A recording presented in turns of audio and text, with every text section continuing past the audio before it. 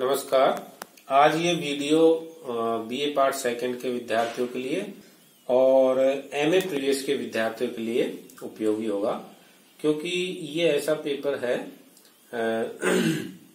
जो दोनों ही क्लासों में चलता है। एक तो भारतीय चित्रकला का इतिहास, जिसमें हिस्ट्री ऑफ़ मॉडर्न आर्ट का जो पार्ट है, वो एक तो बीए पार्ट सेकंड में चलता है और एमए प्रीवियस में हिस्ट्री ऑफ़ इंडियन आर्ट के रूप में ये पेपर चलता है और master artist of the world के रूप में ये paper third year BA part third year के विद्यार्थियों के लिए भी उपयोगी होगा।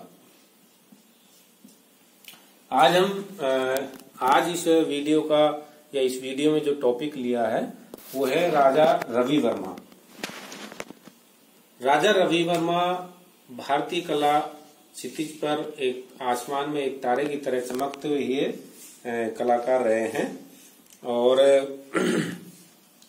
सबसे पहले हम विदेशी कला आगमन की चर्चा करते हैं कि इसकी पृष्ठभूमि क्या रही, किस प्रकार से उस समय का कला का वातावरण था, जो जिस समय राजा रवि वर्मा अस्तित्व में आए थे।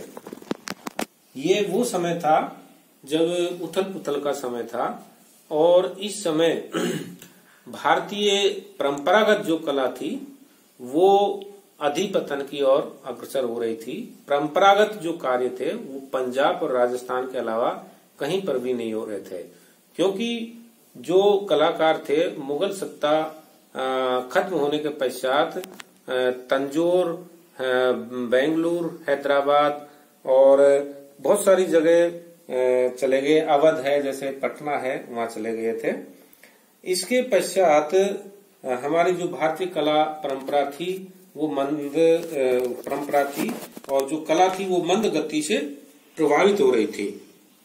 इसी समय ब्रिटिश काल के प्रारंभ में, ब्रिटिश काल के प्रारंभ में लगभग 50 लगभग 50 ब्रिटिश काल के समय 50 से अधिक चित्रकार भारत में आए जो यूरोपियन कला पद्धति में पारंगत थे और वहाँ की एक जो तेल चित्रण पद्धति थी उसमें पारंगत थे।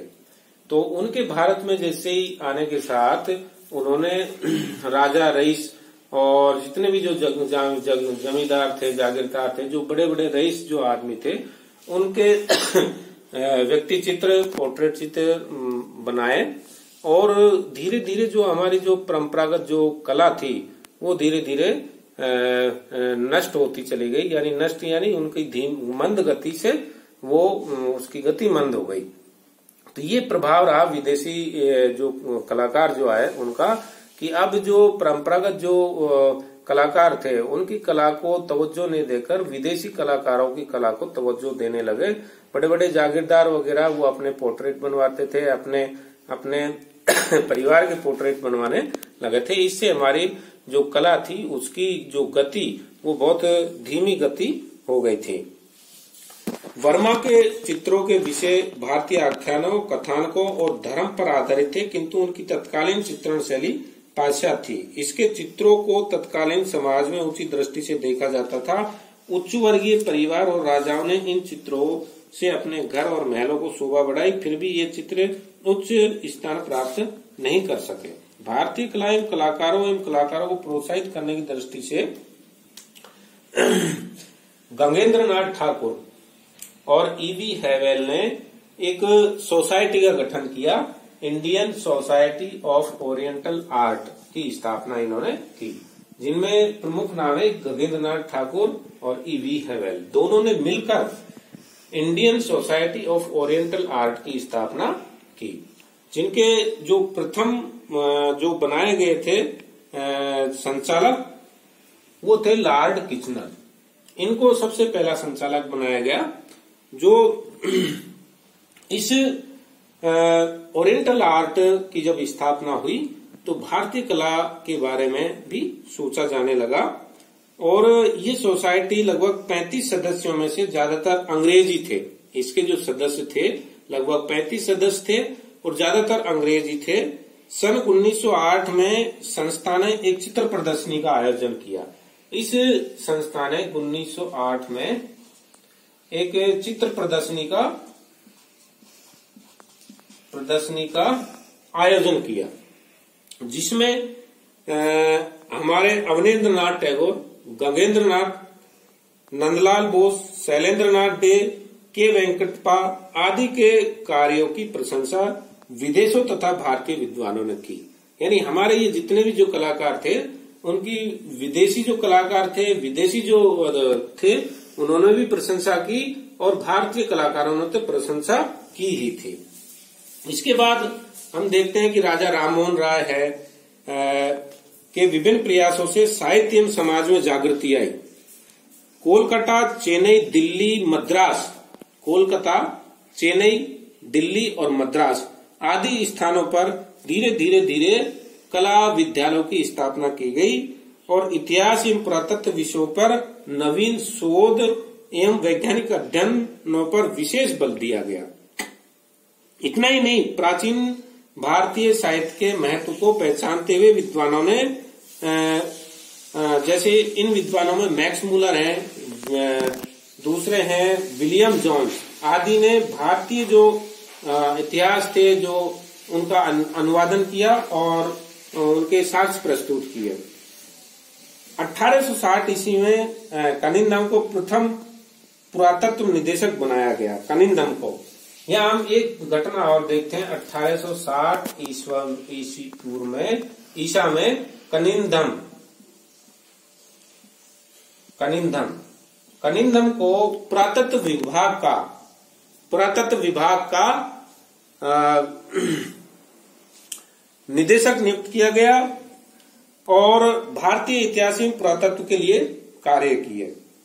19वीं शताब्दी में स्वामी विवेकानंद, राजा राममोहन राय, महात्मा गांधी, जवाहरलाल नेहरू, सुभाष चंद्र बोस रविन्द्रनाथ टैगोर आदि ऐसे विद्वान हुए, आदि ऐसे नेता हुए, आदि ऐसे राजनीतिक साहित्यकार हुए, जिन्होंने अपनी विचारधाराओं और कार्यों का प्रभाव तत्कालीन समाज पर उनका पड़ा। अब हम बात करते हैं राजा रवि वर्मा की। क्योंकि ये उस समय कला की जो पृष्ठभूमि थी, वो आपके समक्ष अभी हमने रखी। अब हम बात करते हैं कि उस कला, उस पृष्ठभूमि में और किस प्रकार से राजा रवि वर्मा ने अपना कार्य किया, क्या उनका जीवन परिचय था, किस प्रकार से वो अस्तित्व में आए, किस तरह से उन्होंने कठोर साधना की कहाँ कहाँ उनके चित्र की प्रदर्शनियाँ लगी कहाँ कहाँ उनके चित्रों का संग्रह है कौन कौन से किन विषयों पर उन्होंने चित्रों का निर्माण किया, ये सभी अभी अपन बातें करेंगे। अब हम सबसे पहले लेते हैं राजा रवि वर्मा का जीवन परिचय। राजा रवि वर्मा का जन्म उन्नीस, उनतीस सॉरी उनतीस अप्रैल सन 1848 को केरल के एक छोटा सा गाँव था किली मानूर किली मानूर नामक स्थान पर हुआ।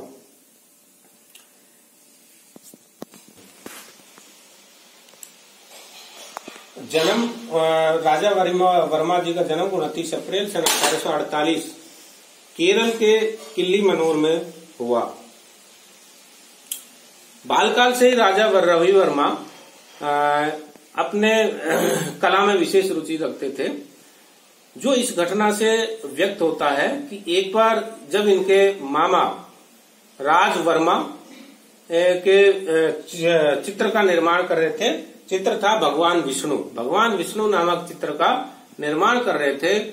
उस समय किसी कार्यवश उनको बाहर जाना पड़ा। तब राजा रवि वर्मा जी आए और उस चित्र को पूर्ण किया उन्होंने। बाल बाल ओतुकतावत या बाल क्रियावश उन्होंने उस चित्र को पूर्ण कर दिया और उसके नीचे गरुड़ भी बना दिया। और उस चित्र को कंप्लीट करने के पश्चात जब उनके मामा वापिस आए तो वो आश्रय से चकित रह गए, क्योंकि उन्होंने इस प्रकार से उस चित्र को पूर्ण किया कि वो कोई सिद्धहस्त कलाकार ही कर सकता था। तो इस घटना से इस बात का अंदाज़ा लगाया जा सकता है कि उनको बाल काल से ही चित्रकला में या कला में कितनी विशेष रुचि थी। वो उनके मामा तंजोर शैली में कार्य करते थे और तंजोर शैली में जब वो कार्य करते थे तो उसको राजा रवि वर्मा बड़ी उत्सुकता पूर्वक ध्यान पूर्वक देखते थे। और इससे उनके मन में और कला के प्रति एक भावना पैदा हुई। राजा रवि वर्मा की शिक्षा की बात करें तो उन्होंने कोई विधिवत इसकी शिक्षा प्राप्त नहीं की थी। वो, उन्होंने सर्वप्रथम बारहवीं कक्षा तक, क्योंकि उनका परिवार एक राजघराने से जुड़ा हुआ था, इसलिए उन्हें संस्कृत की जो संस्कृत विषय की शिक्षा दी गई थी, जिससे उनकी भारतीय जो पौराणिक कथाएँ थी, कालिदास है, और जो जितने भी जो रघुवंश है, इससे रिलेटेड उनका जो ज्ञान था, वो असीमित था। लेकिन वो सब संस्कृत इतना पढ़ने के बावजूद भी उनके संस्कृत विषय समझ में नहीं आता था और वो उनकी विशेष रुचि कला के प्रति थी। तो इस प्रकार से कला की शिक्षा की बात करें तो कला की शिक्षा उन्होंने कोई विधिवत तरीके से नहीं ली लेकिन वो अपना गुरु जो वहाँ के तंजोर राजा, राजा के जो दरबारी चित्रकार थे आलमगीर नायडू जिनका नाम था आलमगीर नायडू वो अपना अपना गुरु उनको मानते थे। क्योंकि उनको वो काम करते हुए देखते थे उनकी कला से और वो आलमगीर नायडू भी उनको आ, अच्छी तरह से समझाते थे बताते थे और उनका बहुत गहरा प्रभाव उनकी कला पर कला पर था। इसी प्रकार आ, जब उनके तेल पद्धति के बारे में हम बात करते हैं तो इसकी भी उन्होंने कोई विधिवत शिक्षा प्राप्त नहीं की थी।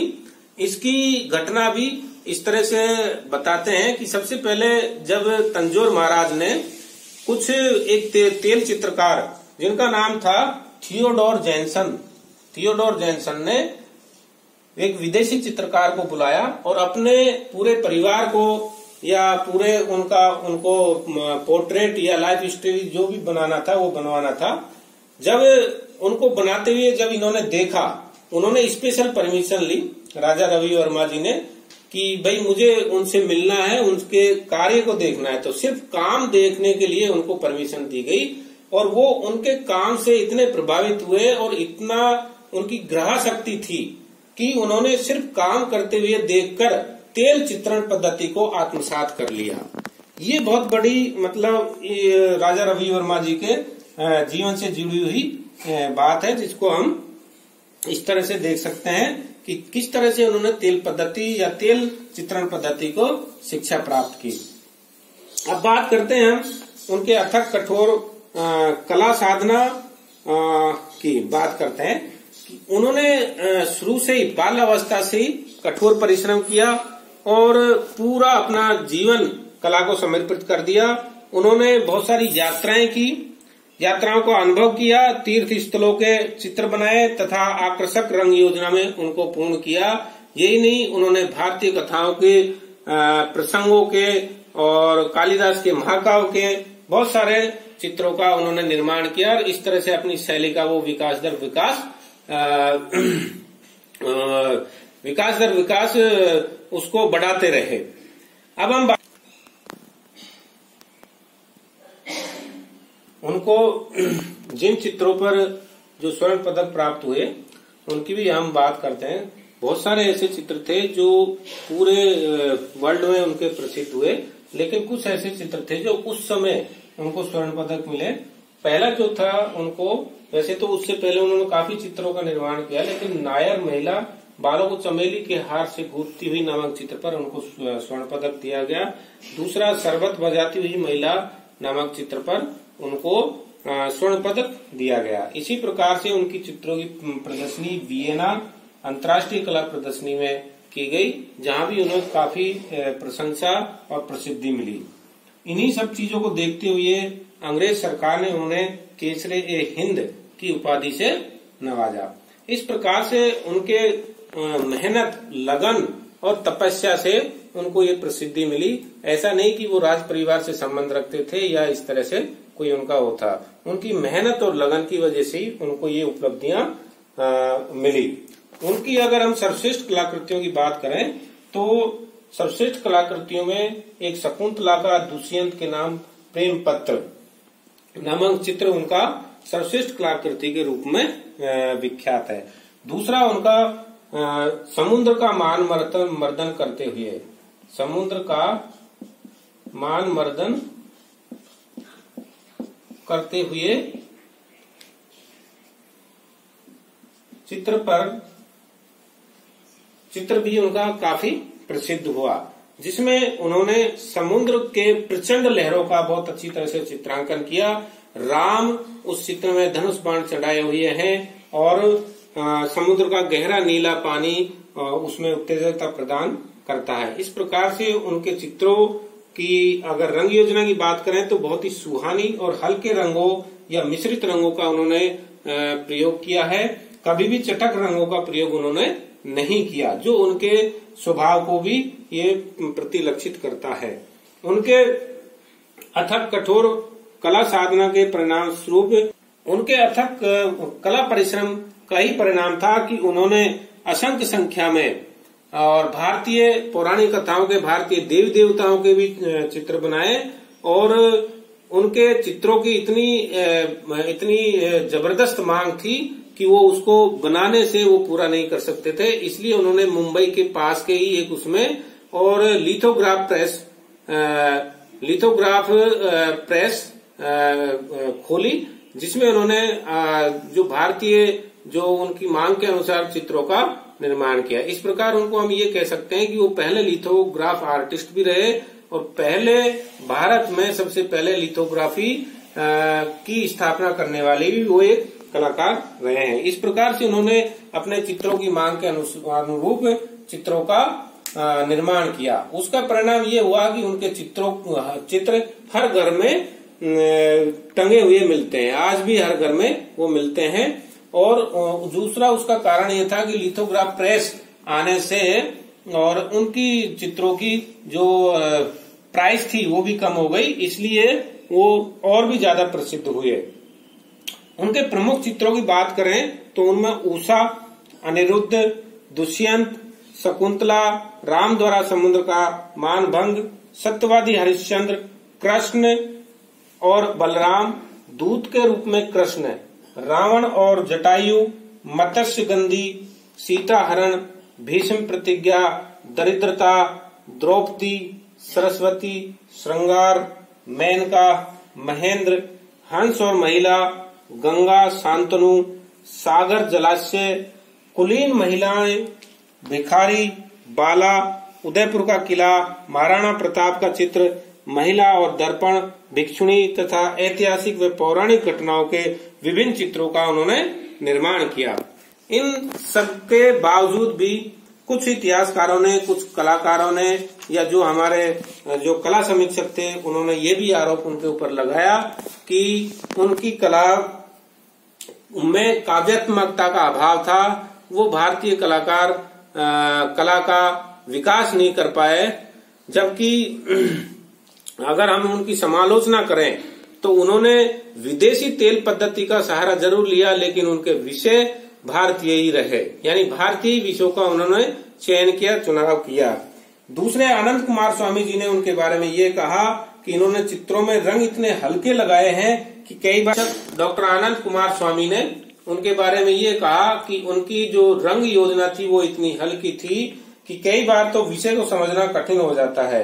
रवि वर्मा अपने कला को राज दरबार राजगनारा व हवेलियों से बाहर न ले जा सके और जनसाधारण न तो उनके कला से परिचय हुआ और न ही प्रेरित हुआ।